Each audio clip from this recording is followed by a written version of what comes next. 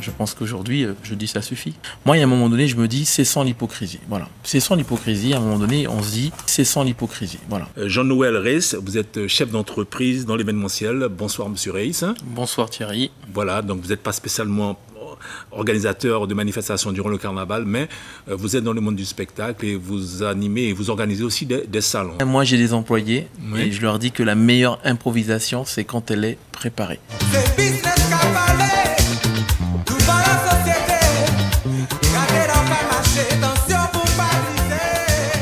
C'est ça, le professionnalisme. Bon, voilà.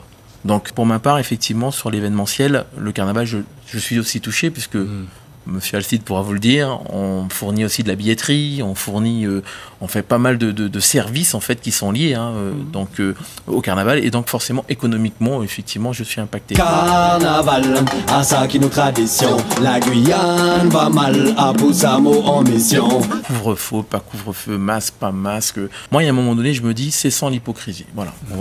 Donc ceux qui veulent comprendre le comprendront. À gauche, Philippe Alcide euh, Di Clausel, qui est bien connu hein, dans le milieu du carnaval. Vous êtes surtout le, le, gérant des dancing chez Nana et du Grand Palace. Nous avons un carnaval quand même qui est un des carnavals euh, bien classés, un événementiel. Euh, je salue Monique Béral et toute son équipe qui est en train de faire que ce carnaval soit classé au patrimoine mondial euh, de la culture.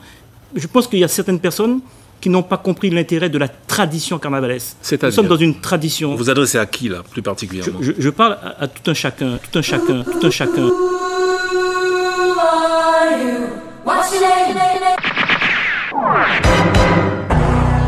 Nous avons un carnaval traditionnel. Et vous savez, dans la tradition, je ne parle pas de culture, je parle de tradition. Il y a des choses qui sont symboliques, des choses qu'on qu'on touche, mais avec beaucoup de prudence. Là des fois nous caca de ça, monsieur pardon. Des hypocrites qui viennent parler mal parlant. 80% des gens vivent euh, euh, au rythme de ce carnaval parce que c'est ancré en nous, ça fait partie de, du, du- du patrimoine guyanais, mais ça fait de la vie, partie de la vie du Guyanais. Messieurs, il y a les bons côtés, les mauvais côtés. Il y a les fanatiques, les acharnés, les encaisseurs et les sait très bien, on savait très bien euh, qu'il y aurait eu crise sur le, sur le carnaval. On sait très bien que le Guyanais vit son carnaval euh, et on est tous fiers d'un carnaval qui va de un mois vers trois mois. On est tous fiers de le véhiculer dans le monde entier. Euh, donc c'est une référence.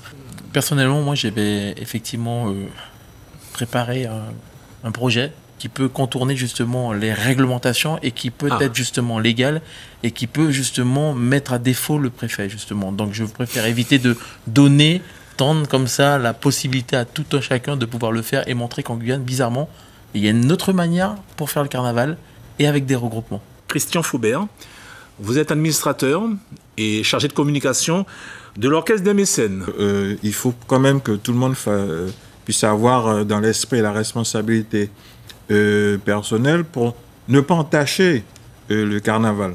Faisons attention que demain, même si la, la crise euh, tendait à disparaître, que demain, je veux dire en 2022, qu'on puisse retrouver le carnaval que nous connaissons. Bonne soirée à vous et à très bientôt.